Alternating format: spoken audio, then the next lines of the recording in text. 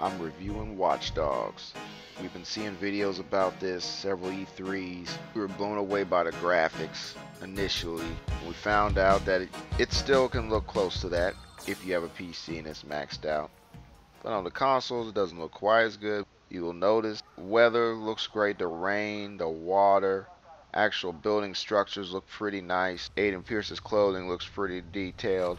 Buying new outfits, you can appreciate the materials. But that's the graphics. They'll do.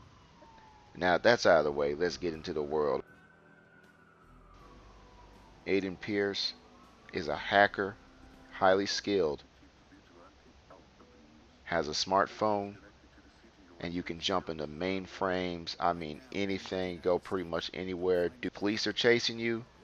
Use the phone, cause a traffic jam, switch the traffic lights, put up barriers. You can make a separate video on just the hacking. It is that intricate jump into cameras, survey the field, scan, see what you're dealing with, listen in on conversations, see how many enemies are in an area.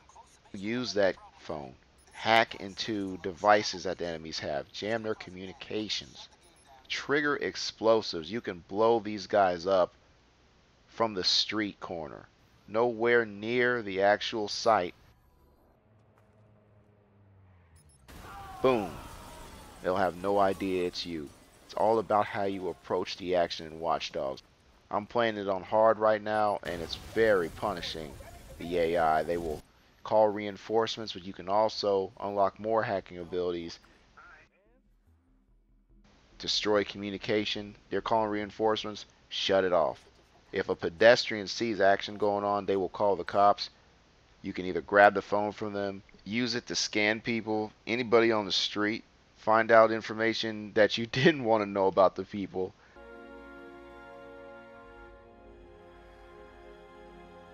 Aiden Pearce's niece died in a car accident and he wants to get the people who are responsible for it.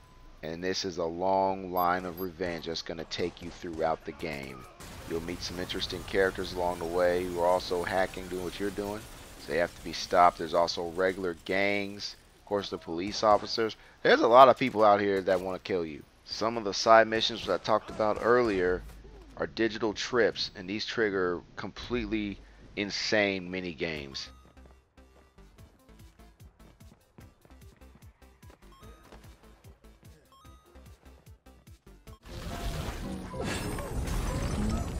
There's multiplayer modes. One of them is where another person can hack into your system and you have to find them. Find out where they're hacking you from. So it's a really cool game of cat and mouse. But along with all the stuff that it does right, there's also some things that just I can't get around. The driving is absolutely atrocious. The biggest car to the smallest car. All the handling is just very, very bad. I, they need to patch that up. It is almost unbearable at times. And this is a game that centers around it a lot.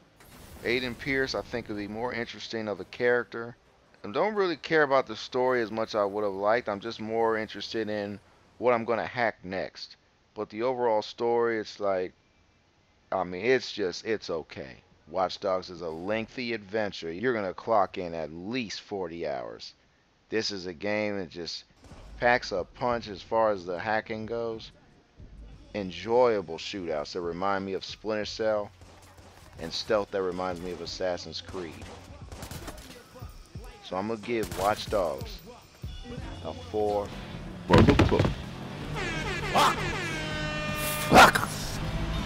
out of five.